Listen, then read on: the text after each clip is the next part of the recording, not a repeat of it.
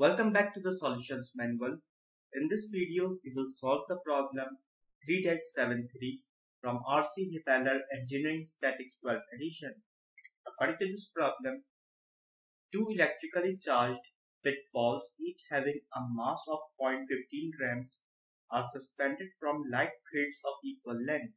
Determine the magnitude of the horizontal repulsive force F acting on each ball if the measured distance between them is r equal to 200 millimeters. So to solve this problem, first of all we have to consider only half of the diagram because other half is symmetrical. If I consider the right hand side of this diagram, then I have weight of the pith ball acting downwards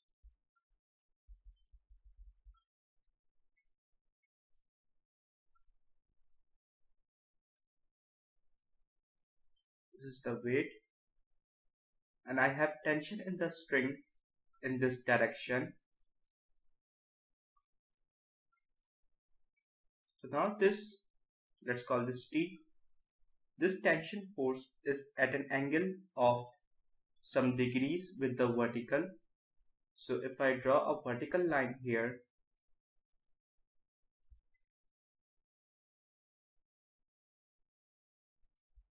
then we have to find this angle. Let's call this theta. For that I have to consider a triangle. If I draw a triangle right here, let's call this A, C and this is B. So if I consider the triangle ABC then for the length EC, we have 200 minus this 50 divided by 2 which is equals to 75 millimeters. So now to find this angle theta, if I apply the ratio of sine, the sine theta is equals to 75 upon the hypotenuse which is 150 so theta is equals to 30 degrees. So now theta is equals to 30 degrees. I can resolve this tension force into two components. Now if I reduce the length of this tension force to draw its components then I have one vertical component and one horizontal component.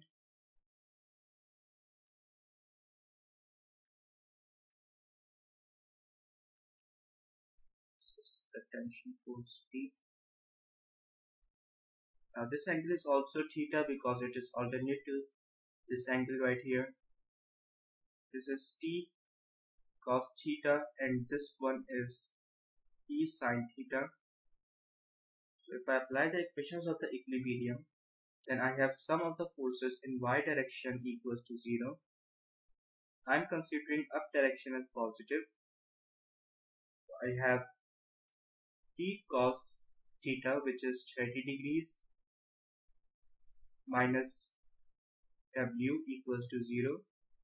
So t is equals to w which is mass into acceleration due to gravity.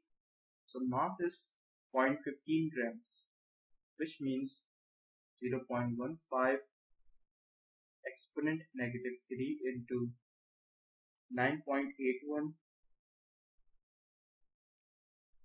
divided by cos 30 degrees. So from here, P is equals to 1.7 exponent negative 3 newtons. But we have to find the horizontal force F. So if I apply sum of the forces in x direction equals to 0 I am considering right hand side as positive.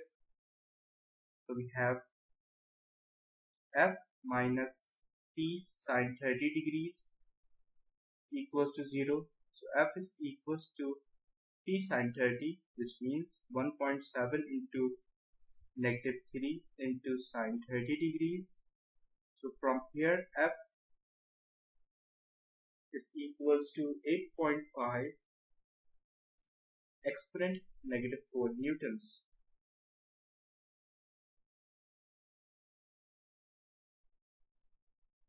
So this is the answer to this problem. I hope you will find this video helpful. If you do, please make sure to subscribe to this channel and also turn on the bell icon for the daily updates. And if you have any question about this problem, then you can ask it in the comment section and I will answer it as soon as possible. Thank you. And I already have uploaded some solutions of chapter 3 from the same book, so you can also check them out. The link of this playlist is in the description. Thank you.